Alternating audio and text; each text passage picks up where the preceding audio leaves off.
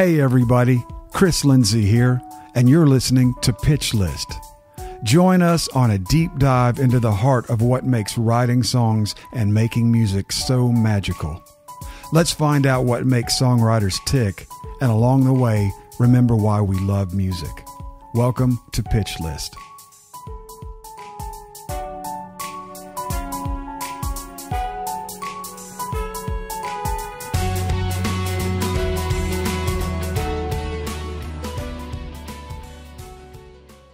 Our guest today has carried country music all over the world. He and his band are the kind of ambassadors this town needs. Down to earth, sweet to a fault, all the while still capable of an all American whiskey laden sucker punch when needed.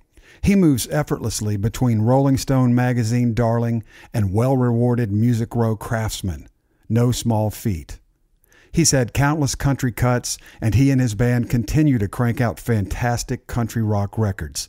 The last, in my humble opinion, the best, called Tabasco and Sweet Tea. Here's Jaren Johnston. Good morning. We got another fantastic show for season four of Pitch List. I'm so excited to have our next guest. We were doing a little chatting before. We uh, we were talking about the first time we ever wrote. Um, I'm so excited to have this guy on. Great writer, great artist, Jaren Johnston. How are you, man? I'm good, man. Hanging in there. Quarantine. Quarantine. You got to love it. Are you um, are you writing as much during the quarantine? I mean, it's been pretty much every day, um, like on the Zoom. You know. Um, yeah. How is but, that for you? Well, I mean, I you know we're going on about a year now. Re- realistically, talking about when I first started zooming, I guess it would be like March, you know, beginning of March last year. And at the beginning, it was a little weird. And then I felt like I hit like a really cool sweet spot. And it was because you're getting with the artist mm-hmm. that you probably wouldn't have been able to get them to come over to the house because, you know, country stars are weird and they don't want to leave Georgia or they don't, you know what I mean? Sure. it's a little easier to get them on the Zoom and then in the room. And so uh, it was kind of cool. And I've, I've enjoyed it. And, it's a whole different process. I think you know I feel like I'm able to kind of keep the momentum going while also sit here and think about the song while I'm making a track or whatever. It's it's kind of neat, you know. Yeah, and your tracks are so great. Um, oh, thanks. Yeah, do you kind of work on the track and then send them little MP3s while you're writing? Sometimes it's you know you know how it goes, man. It's different every time. If I yeah. if something like if I'm in there with Tom or you know what I mean, or mm-hmm. you know somebody like that, we're we'll probably just hone in on whatever it is. And half the time you get done with the song on Zoom, nobody in the Zoom when they get off, they have no idea what the hell this thing is going to sound like because you really spent three hours sitting there going, "This is the lyric," and maybe I'll sing it like this, or you play a G chord with a whatever um, so it's, that's that's the most bizarre thing I think about writing on Zoom is when everybody gets the demo, they're super excited or dis- disappointed. yeah, because it's kind of an unknown what it's going to actually sound like. Well, keep keeping with that theme, I was curious. I, I wrote up some questions. Um, we got. I'm going to kind of handle your interview today in two parts because when I first encountered you, it was as a Nashville songwriter, which you obviously are. I mean, you're award winning. You know, killer country and rock songwriter. In addition, you have Cadillac 3, which is just this incredible band, too. Um, how much of your time how do, how do you split those two things do you have like are they are they separated for you or are they all kind of mashed together how does that work well these days it's very separated because we can't, we can't go do anything really so right you know That's like right. the band the band since um last march you know i think i got home february whatever. We flew home immediately from Europe when um, the, all the shit hit the fan, so to speak, you know. Right. And um, got home, and you know, we did a couple live streams. We put out another record, a funk record, and um, well, I'd say funk record. It's a hillbilly funk record um, in October, I believe. But we haven't, as far as like playing and everything, we haven't really done much because it's you know it's it's tough out there. I don't want to. We don't want to be the people adding to the the crazy you know out there. So sure. Um, but to answer your question, it's you know in a normal year it's 50 50 man you know like because you know I, I, have a studio on the bus And so we'll go out and I'll be riding during the day. Uh, we'll take riders out with us, you know, or I'm producing on the back of the bus or whatever it is. Um, and then you know you play at night because on the road all you do is hurry up and wait. You know, you're just Yeah. like, okay, is it is Yeah. it eight o'clock yet? Can I start drinking yet? you know, it's Yeah. like that kind of thing. Well, that's great. So you're kind of going full blast at both of them. Yeah, it's it's a pretty even thing, um, you know, and it, it's really fun because I get to, you know, kind of creatively express myself in two complete different ways. Um, that the band lets me go be this guy, Mm-hmm. and writing lets me go get out of that headspace and not try to be too cool for school and just write what I want to write. And you know, if I want to sing it, I'll sing it. But if I don't want to sing it, maybe McGraw will. Maybe you know, you know, you know that Right. that kind of that kind of thing. So it's a lot. It's a it's kind of a, a really nice sweet spot for for me to be in. I, I feel like. Do you feel that um, because of your success as a pure songwriter, does it give you the freedom to make Cadillac 3 more adventurous, or maybe you don't worry as much about country radio per se? And I've always thought it would, in your situation, it would, it could make it easier to really go for it, you know, with your band. Yeah. Yeah, I think it it definitely gave me a little bit of freedom to I was in a pretty terrible position or situation. Actually, the first time I met you, I went over to your house and Keith Urban was recording You Gonna Fly. My yes, first, that's right. my first hit at your place. That's right. and, he did do that one here, didn't he? Yeah, and I sh- it was right after the flood, and I showed up with it, one of my Telecasters, thinking that Keith Urban, because all his stuff had gotten wet. I showed Yeah. up with a telecast- Telecaster, thinking that Keith Urban didn't have a guitar. so but he did he ridiculous. didn't he didn't because Yeah. he he had some tv a tv thing that he did that night for a benefit with him and vince gill and he he borrowed my guild he's he was out he's like can i take this guild and i'm like well yeah you can but can we get you a better guitar than that to to take down there i think he Yeah. lost a lot of guitars in the flood He did, but yeah. So the first time we met was that I think that was that day, and then um, so I was in a band called American Bang on Warner Brothers, Yeah. signed out of L.A. And that day, I gave Keith the um, American Bang record, and you know, at that point, you you're just it's. I was in my t- early twenties. I'm chasing everything that's cool. You know, whether it's whatever, you know, White Stripes or whatever. Didn't have my own vibe. I think when I got some songwriting success, it, it made me a, lot more confident and, um, you know, made me kind of want to stand out and be different than the normal thing, you know? So that, Right. You know, success, success will do that sometimes. Yeah. Yeah, I think it's I think it's really good because I think a lot of times to their own detriment, bands can get into the game of uh, you know, the promotion guys like we don't have a single, you know, we need to do something more commercial, whatever that means. Yeah. Which, you know, really never ever works. You know, it's like I've I, I- it seems to work better when people really go for it.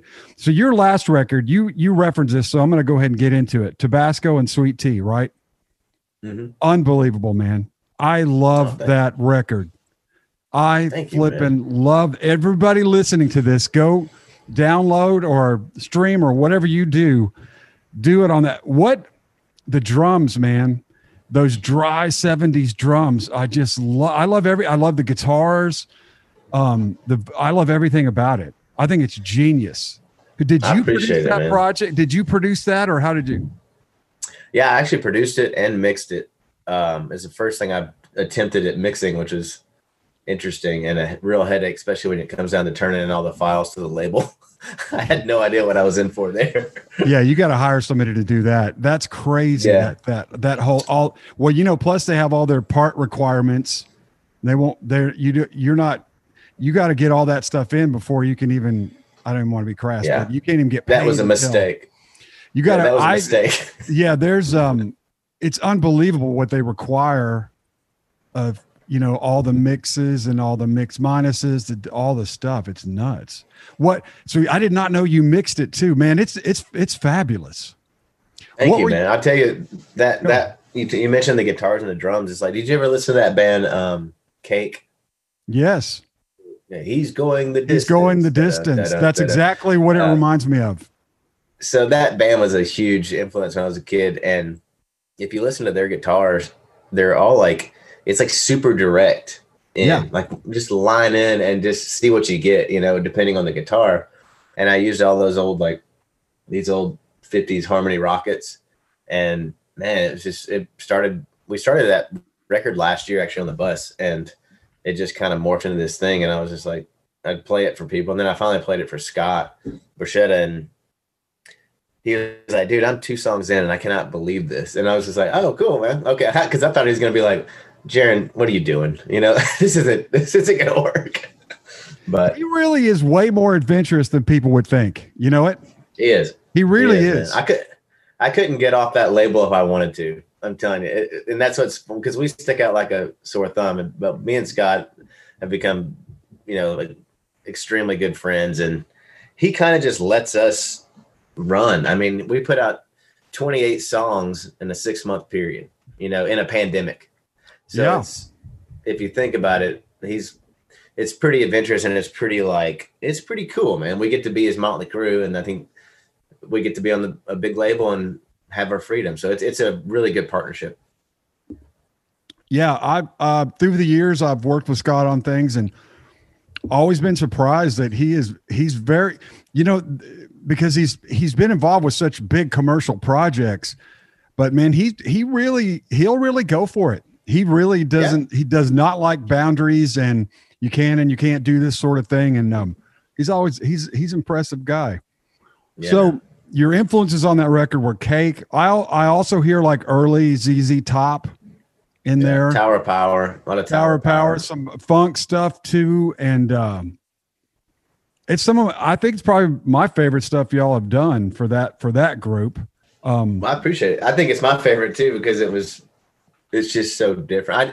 I I mean the thing is about a record like that is I just man, you get so sick of I mean you're in the you're in this world that we're down here constantly trying to one four five, one four five. That's not there's the Mhm. truck, there's the girl, there's the dog, there's the baby. You know what I mean? Whatever. There's the beer. Yep.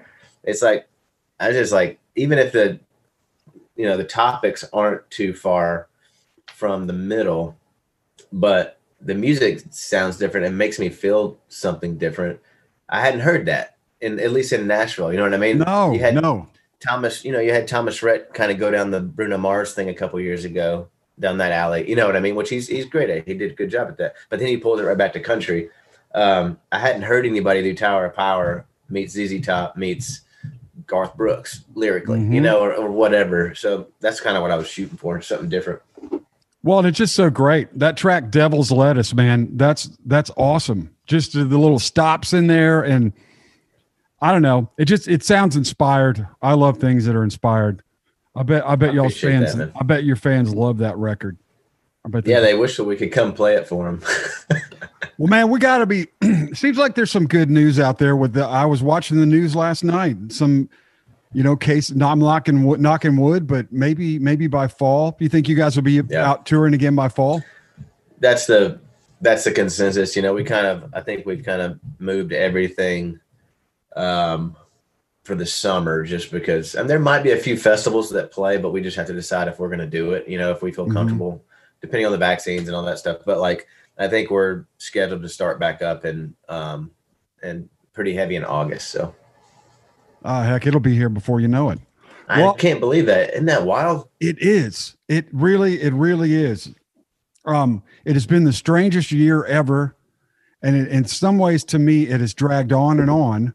And then in other ways, it's like, wow, it's almost March. It's almost been a year since all this bullshit started.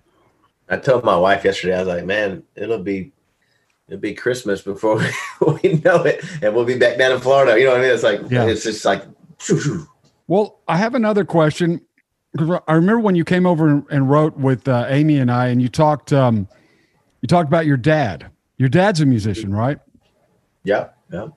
uh, drummer, played at the Grand, played at, uh, was he the house guy at Grand Old Opry when I first met Yeah. you? Is that right? He, I think he might have still been the house guy. I don't, I don't really remember, um, Yeah. but he did that for probably. I think he was the house guy for maybe ten years, maybe not quite that long, but um, he, they, my parents moved to Nashville, pregnant with me in 1980 from Louisiana, and Dad was in a band on Warner Brothers called um, Bandana with Lonnie Wilson. That's right. Okay. Tim Menzies, yeah. Um, and so that's kind of you know i was pretty much born into all this stuff. And he did you know he did that for years and did the play with uh, linda davis forever a little bit of reba a little bit of mark chesnutt and then everybody at the opry. And um, then he started pitching songs you know and all this stuff you know so he's kind of i've kind of grew up in the whole thing. Yeah you are you are uh, nashville born and raised. And bandana now uh, lonnie wilson was the lead singer of bandana right and your dad was a Yep. drummer yep later lonnie wilson became like top call drum drummer he was a drummer too a great yeah and a, a drummer. and a songwriter he wrote that corn Yeah. makes whiskey with Yeah. luke kind of thing. yeah it's really crazy um so you And now I'm friends with his son, Dallas Wilson, which is completely random. But he comes up to me at a studio in a studio one day. I was producing uh, Kelleigh Bannen, and he comes in with Claire, Tom Douglas's daughter, and Yeah. they had written the song that we were cutting on Kelleigh. And he goes, "Hey man, I, I'm Dallas. I think our dads are friends." And I go, "What's your last name, man?" He goes, "Wilson." And I go, "Who's your dad?" and he goes. Lon- Lonnie Wilson. I go, oh man, that's crazy. And so it's just like full circle, you know, it's pretty wild. Yeah. Uh, do you do you? I saw on your uh, resume that you're doing. Do you like production? Obviously, you're great at it. I mean, your record and like you know that I've heard it's a couple things you wrote with Amy, and then I worked with you on a couple things. You're you're even your demos are amazing. Um, oh, I appreciate it, man. do you do you um, like production? Is that something you see yourself doing for a while? Yeah, I do it. I'm. It's you know, you know how it is. It's very. Yeah. It's a labor. It's a lot of work, you know. But I think I only kind of do the like. I'm kind of like nitpicky just because it's you. I realize how much work I put into it, and it's you know once we go, say we go cut with a band or something, I still bring it home and put it in my little world for God knows how long, and it's it's just a lot of um, hours. But I do like it if the project's right. Like I'm, doing Sam Williams right now. I, Hank Hank Williams Jr.'s kid, and he's different and really cool, and I'm intrigued. You know what I mean? Right. But it's like, uh, and I just finished Drake White's new thing, and he's different and he's cool, and I'm Yep. intrigued. You know, it's like I like stuff like that, but I, I do really like it. Um, you know, we'll see. I I'll do, I do as many records as I can, but you know, with songwriting and being a dad and a husband and a band, it kind of gets it's, Yeah. it's hectic. You know. Well, and it seems like it would have to be something you're passionate about to to be worth because it is a, it is a lot of work and it's a lot of time. Um, I'm going down my. Uh, I saw Devil's Lettuce again. That that song made me laugh, man. That We got that's one of rolling my. papers now. We Oh. rolling papers that are tied out that say "Devil's Lettuce." yeah. Is that cool. part of your merch when you go back? yeah, out? I I got them in the mail the other day, and I was like, "What the hell?" And I called my manager, and he said, "Yeah, we're selling those." And I was like, "Man, that's a great idea." That is a great idea. Well, I just love that you guys are swinging for the fences with that. I really do. I mean, there's so many people playing it safe, and I just think it's such a bad idea. Even you know, yeah, I just think it's such a bad idea to to to play it safe. It's people respond to real to real stuff. I just figure if radio ain't gonna play us, I might as well go get nutty. you know? Yeah. Fuck. Yeah. Well, and you probably had the experience a lot of people have where they kind of swing for the fence and it and it works, you know. right. Thanks for listening, everybody. Pitch List will be right back. Hey, everybody. I want to take a minute and talk about something that probably everyone in the music industry has dealt with at one point or another, and that's our mental health. Our sponsor, BetterHelp, can get you connected to your own licensed professional therapist in a safe, affordable online environment. If something is interfering with your happiness or preventing you from achieving your goals, it's time to take the first step toward a healthier and happier life. I'm sure you've figured out by now that the music business is extremely challenging and can be a serious strain on your mental health. On a personal note, I don't know where I would be without the counselors who've helped Amy and I throughout the years. BetterHelp will assess your needs and get you communicating with your counselor in under 48 hours. You'll be able to send a message to your counselor anytime and get timely and thoughtful responses. Plus, you can schedule weekly video or phone sessions. all from the comfort of your own home. As a listener, you'll get 10% off your first month by visiting our sponsor at betterhelp.com slash songwriter. betterhelp.com slash songwriter. Join over 1 million people who have taken charge of their mental health. Again, that's betterhelp.com slash songwriter. Do you pitch any of your songs? Do your pluggers do most of your pitching? Do your relationships? How, how does that work for you? It's interesting, Chris. you know, it's like, I think it's probably very, you know, it's like, if I think something is really good uh-huh. or is, or really fits Jake, let's just use Jake Owen for an right. example. I will send it to Jake. I'll just text it to him or whatever. Um, same with Keith. Same with McGraw.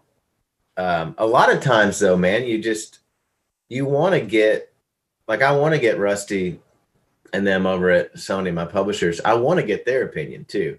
You know, like I want to let them do their job and tell me, wait, before you go to McGraw, let's go to Michael Ray. I don't know, you know, right? Or maybe it's who, maybe it's who's cutting next or whatever. Um, and so I do a, I'll do a lot of pitching. Man, I would I will sit down here and drink wine um, after Jude goes to sleep, and that's usually when I get some good pitches in because you're just sitting there, and you start thinking out of the box a little bit, and you get mm-hmm. a little mm-hmm. liquid courage in you. You're like, screw it, man, I'll send it to him. Right. hey, Dirk, right hey Derek, are you up? but uh, yeah, I do a lot. I do a lot of the pitching. Um, but yeah, I think it's good for writers to pitch because I think sometimes, believe it or not, I think pluggers can be too hesitant. You know, they have these complicated relationships they're trying to maintain, and they don't want to, you know, pitch the wrong thing or pitch a song that doesn't work. And yeah, I find, or they're pitching to. There's a layer removed from the artist. They're pitching to a producer or an A and R person or a manager. I've, it's boy, if you can get straight to the artist, I think it's way better. You know. It, you know, it's funny, man. It's I agree with that. It's, I mean, that's an obvious thing. Too, it is, you know, but like but it's. Right. And, and anybody who could get to an artist would, but I think it's worth saying. It's like uh, I, I'm just asking, but I find artists way more forgiving and interesting and so than their than the people who listen for them. Oh, dude, most people that listen to them are assholes. Yeah, yeah. It's like just, you can pitch them because most of them are really nice people, no, but they're not. Yeah, no, but they're hard on songs. They're not. I. That's what I'm saying. Like you can go in a pitch meeting for someone's A and R person. No, no, no, and then you play it for the artist. They're like, yeah, man, I like that. I'll live with that. You know. Now they might be being eh. polite sometimes, but yeah, that's the hard thing about. I can't imagine being a publisher. I mean, I am a publisher actually. I have three writers, but I don't ever go into pitch meetings. But I can't imagine going into someone's office with your your heart in a little box and be like, remember the old days with DATs or like you yeah. walk in with a cassette tape or whatever. You're just like, I can't imagine being like, and they listen to the first verse and they're like, ah, pass. I'm like, the hell, man! I spent spent yeah. so much time on this. Like that would be so hard. I agree, and uh, somebody told me one time about pitching your songs, writing your songs. They're like, you can't take it personal. And I remember looking at them and thinking, it don't get any more personal. This is what's more personal just, than a song. Yeah, we're right. I, I mean, I, I just opened a vein up on this tape and they're saying, don't take it personal. It's very difficult. I think it's great yeah. to have somebody like Rusty or his staff. Now, did you go with Rusty to Sony or were you there before? Man, I've been. Um, you remember Famous Music with uh, yeah. Glenn Middleworth, Curtis Green? Yeah. So I, they, they signed me in 2005 over there. Sony bought Famous in 2006, I think, or seven. I came over, me and Tony Lane and mm-hmm. a handful of writers came over to Sony. I've been there pretty much every since. I've every since. Um, I just did a uh, extension last year, so I'm still so there since, since 2005. Is that right? So 10. Yeah. Wow, long time. And then Tom, of course, Tom's Douglas has been over there for. Over, I know he's over twenty because I remember at the holiday brunch he got like a an award, and I was I was about to my my contract was up, and I said, "Shit, man, maybe I'll stay. That looks pretty cool." Yeah, I like to get that yeah. 20, 20 year. so, do you do a lot of your co-writing that's strictly songwriting, co-writing? Do you write with an artist most of the time? So I would say I write four days a week usually, sometimes five, but try to take Fridays off so I get that three day weekend in. But um, especially if we're at the beach. But I would say, you know, probably two days a week are usually set aside for an artist if we can. And if we can't, then I'll hit, you know, you know, sometimes like like yesterday I was booked with uh Travis Denning and Mark Irwin and Travis canceled. And so I called Mark and said, Hey, I need to catch up on some stuff. So I caught up on stuff, but I ended up writing that afternoon with Zach Kale because he had something that was open and we were writing for Michael Bublé. And it was just like, you just, it's kind of a free for all these days because all it takes to get in a songwriting session is just like, okay, I'm here. What do you got? Yeah. You know what, what I mean? Got? Yeah. Well, talk to me about the future for you. I mean, you, you've kind of got the whole, I, am knocking wood. I don't want to jinx you, but you've just, you've got it going on, man. You've got a killer, cool band making crazy great records and touring. And you also have just this on fire songwriting career in which you can buy multiple beach homes. Um, you're kind of having your cake and eating it too. How uh, how do you see the future for you? Just keep on keeping on the way you're doing. Are there are there other dreams for you coming up, uh, career wise? Yeah, I mean, kind of in it. What talk to me about it? Um, you know, I, I think there's going to be a lot more producing stuff coming up.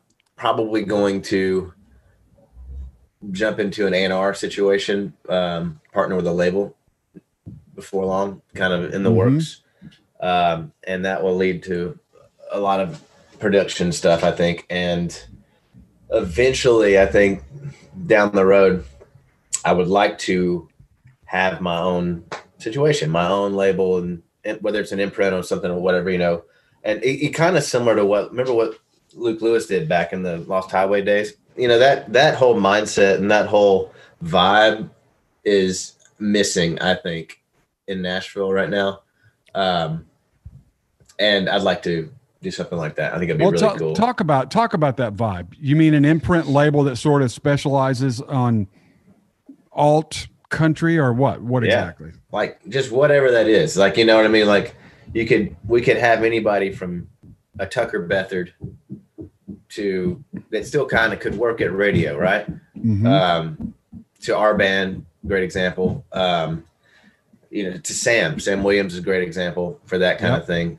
And I mean, I'm talking like full promotion team too. You know, like we're not just gonna, you know, get not work radio. You know what I mean? I think you you develop a situation that you find an artist that you know like Lucinda Williams, you know, how, I think she was actually on Lost Highway. Ryan Adams, all the, that that mm-hmm. roster was absolutely rad. You know what I mean? Yep, like they, even all the way down to like Tift Merritt. I think they had Tift Merritt. Mm-hmm. Like I love that. You know, that was yeah. such a cool, such a cool eclectic roster. And I just yeah. think, and you you kind of go for, you, yes, you have a promotion team, all that stuff, but you go for the Grammy, you know, and you mm-hmm. do that thing, you know, and you hope you find Stapleton, you know. Yeah, I, as far as like future though, that that's a long ways down the line probably, but um, yeah, I bet I bet not that long. I mean, hopefully, yeah, you're like a you're like a country rock Ryan Tedder, like mogul. You're like a mogul. That's well, I hope so. A vibe mogul, not like yeah. not like. Crap. I gotta pay for all this shit. I gotta pay for all I, this shit somehow. I understand. and you got kids now. You got a you, you got a kid. Yeah. You got to put through college.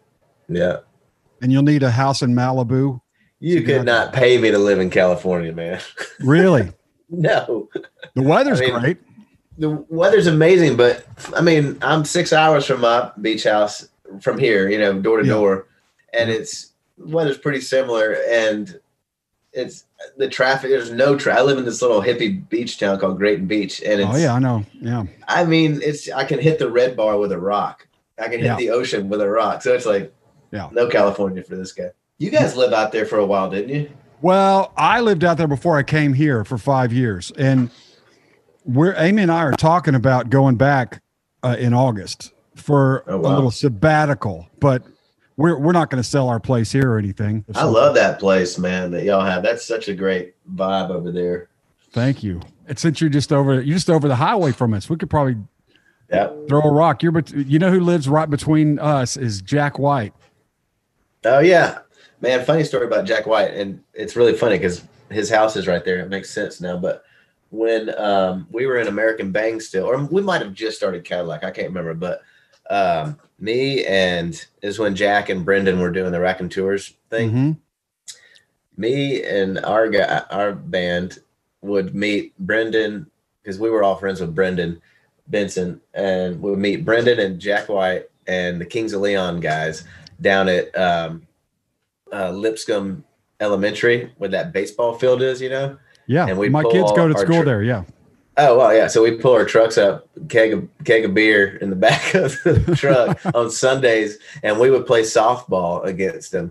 Uh, uh, you know, we'd make teams and everything, and the girls would hang, and it was so much fun. But it was the most comp- the, the Followill guys, and uh, yeah, I'm still pretty good friends with Nathan, um, the drummer, he lives down the street from me. But he, this those guys are super competitive, you know, because they're brothers and they hate each Yeah. other or whatever. So Yeah. you like you get them, and then you got Jack White who shows up to the first game, and he's got white face paint on, wearing all black. It's probably 110 degrees outside, and he's playing first base, and he's just slamming the ball. He's a hell of a baseball player. Like it was.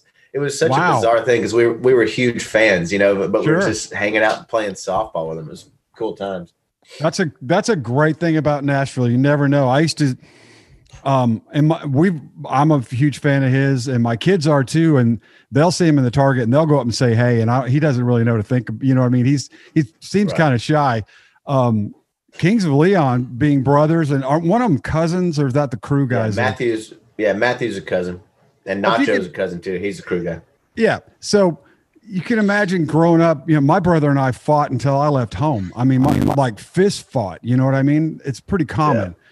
Um, apparently they would have knocked down, I mean, like get stitches fights in Blackbird when Angelo was making that record. I mean, Yeah. I- dude, me and me and Caleb kind of back in the day, like he's kind of, I think, you know, there's an aggressive thing about those guys, you know, and A- Angelo, one of my dear friends, you know, he he would we would talk about them because we were always so like, God, how did they get so big so quick? How Yeah. did they, Yeah. you know, and just like, and I hated that. I hated that. And so um, there, there was always this little run. Now, Nathan's sweet as can be. He's always been really cool. And the other guy, they're all great now because we're all grown ass men. But there were Yeah. like, uh, there was a time it was kind of like, God, these guys are, they think they're, I don't know if they think they're too cool for school or I'm just jealous of them being so big that there's this rift.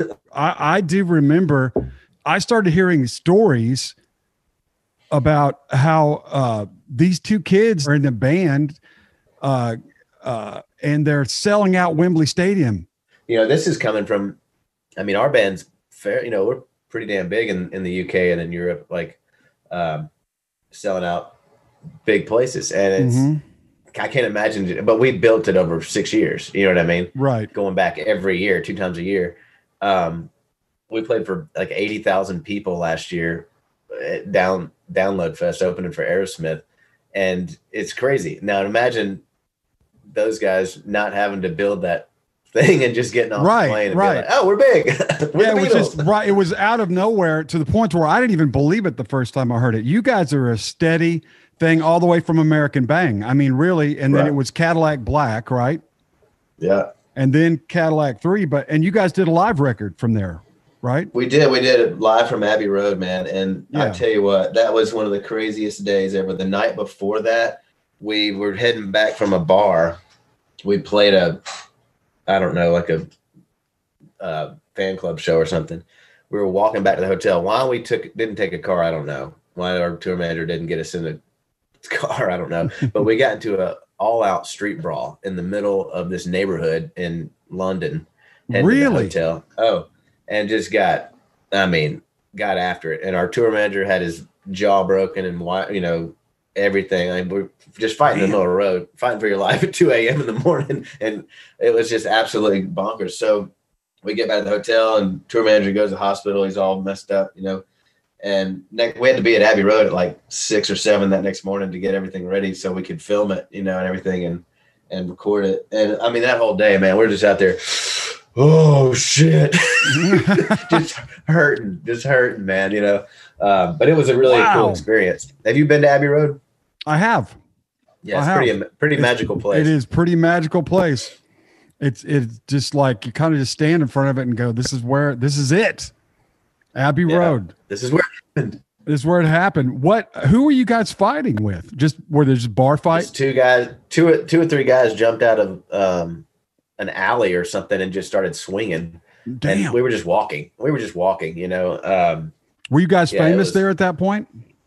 it was. I mean, yeah, it was getting pretty big at that point. What do you think it is about Europe, or especially um, UK? They seem they just seem more into root stuff, don't they? Is that Dude, there's a huge thing right now for Southern music in general. Like Americana's doing really good over there. Country, like straight up country. Like we went over there and right before the pandemic last year, we we hadn't done the C to C festival on purpose for the first couple of years just because we built our own thing over there. And why go open for Luke Combs when we can do the same amount of tickets and have it be our own show? You Right. know what I mean? Um, and so we went over there, and it was pretty amazing to see like um, the the the country crowd. You know what I mean? Like in, Amsterdam. You know what I mean? You're, you're playing a small arena in Amsterdam, and you're like, geez. I mean, Amsterdam's a weird place to play. Even for us, still to the, to this day, we're pretty big there. But the shows are always weird. Everybody's kind of just like taking it in, and you're like, are they on drugs? I don't Mhm. know what's going on. Am I am I doing? Am I on drugs? you know. they could be? So a, do they come out in cowboy hats and cowboy boots and all this stuff? Yeah, and I will say, like in the UK, especially, well, actually all over, like Germany and all that stuff. Um, literally, people people will show up to the shows, and our buses will be usually have to park right out front of the venue just because there's nowhere to go, you know. Mhm. And so we're just kind of huddled up on the buses, like trying to stay away from people. But they'll show up, and you see the lines, and it's like half the people are dressed up like us. Like they'll have the long hair with the the ha- trucker cap, you know, and everything um, and the same kind of shirts and everything, leather jackets. And it's really funny because and you'll do a meet and greet, and it's like they they're so and they're they're like enamored, and they're like, ah, Jared, Jared, ah, oh my goodness, you know, ah, oh, can I have your hat? like, no, but it's a lot of fun over there, man. So do you tour in a bus around there? It's a smaller bus that they use, right? It's long, it's uh, higher, so it's a double decker. Oh, okay. The, the last couple that we've had have been double deckers, and they, um, it's it's really cool. It's it's um, you know bunk alley upstairs Oh, wow. all Okay. the way, like all the way, so like sixteen bunks, which is crazy. And their Hmm. front lounge in the front above the driver, and a back lounge in the back, and then you have downstairs you have a kitchen and a hangout area and TVs that goes to the driver thing. It's really it's pretty cool. I've I've never seen one of those. I might check it out online. That sounds way better. yeah, it's cool, man. I can't imagine anything more cool than touring Europe. I love it over there. It's just so beautiful. It's so interesting. People are great. Dude, the coolest part about it is those buses. You can, you know, sit in that front lounge area where it's just all one huge window all the way Mhm. around above the driver. You can sit there going through Scotland and everything. I mean, Germany and all. You can see everything. And I remember when we were the first time we went into like Norway or something. Like yeah, it was Oslo, and you come down over that hill and you see it's like a movie, and it's just Mhm. it looks like a James Bond movie, and you're just kind of watching it, and you're like, "This is wild." And then you get there and you go play a show for a couple hundred people that you know you that don't barely speak English but love everything you're saying, and it's it's just a bizarre thing. I tell you one thing in Oslo, man, you better bring your wallet with you because I took the guys to an Indian restaurant one night there, and I was just thinking, you know, you can't, I can't read the the translation of the money, you know, whatever it is. It's just like says a gajillion rubles or whatever it is. Yeah. And so I was like, ah, it's probably not that bad. I don't care. I do all right. I can take I can take it right in. I spent like eight thousand dollars. You are kidding. How many people? No, it was just the band and crews. There's probably eight of us, you know. And I mean, we get to drinking pretty good, so that's probably Yeah. what it was. But I was I thought you were going to say 1500. Yeah, I mean, it probably was like that. It probably was more like fifteen or two grand, but it felt like eight at the time. Yeah. I think it's I think you're living the life O'Reilly, man. I think you've got it completely figured out. And I tell you what, I appreciate it. you are so talented and you couldn't be a nicer guy. Um I'm I'm just happy to have uh to know you and Where I know everyone out there listening is loving to hear all your stories, man. Thank you so much. Yeah, I'm gonna turn you man. loose. How's it? Tell Amy I said hi and tell her I love her. She's good people too. I will do it. Same to your family. And man, thank you so much for being on our podcast. Thank you so much. It's been right, man. awesome. Thank you, Jaren. Thanks, Chris. Okay. Take care, buddy. Okay. Bye. Thanks for listening to this episode of Pitch List, produced in partnership with the American Songwriter Podcast Network. If you enjoyed today's show, please subscribe to us on Apple Podcast or your preferred listening platform. And if you want, feel free to leave us a five-star rating and review. For exclusive content from this week's guest and more, you can visit our website at pitchlistpodcast.com or follow our social media pages on Facebook, Instagram, or Twitter. To hear songs written and or recorded by today's guest, check out this week's playlist by finding us on Spotify at Pitch List Podcast. Plus, don't forget to let us know on social media what songwriter, musician, or music business professional you want to hear from next. Thanks again for listening, and we'll see you next time.